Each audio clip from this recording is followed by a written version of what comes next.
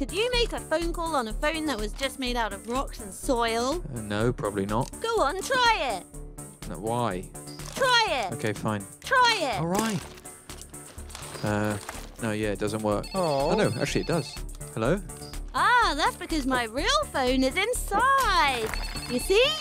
Not really. It's a weird thing to do. Yeah, aren't you going to break your phone? Look at all the stuff that you've got. That you don't even know what keeps the TV on. Well, I'll give you a clue. It's electric and blue. And it makes all the stuff in the house work for you.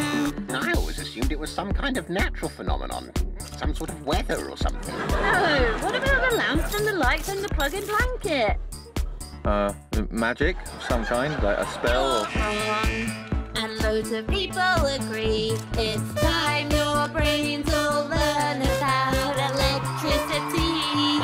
So what about the radio? That's right, electricity. And what about my printer scanner? Got wires, electricity. And what about our pet animal? Well, let's have a look.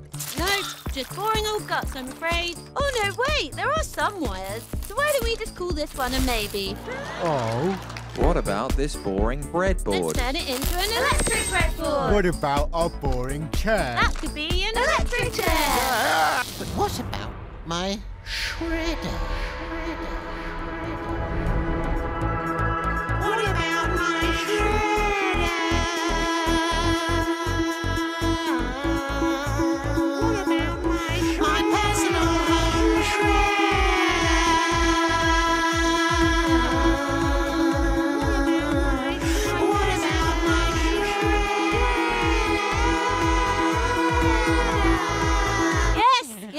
and and the shredder. Eh? Yep, that's right.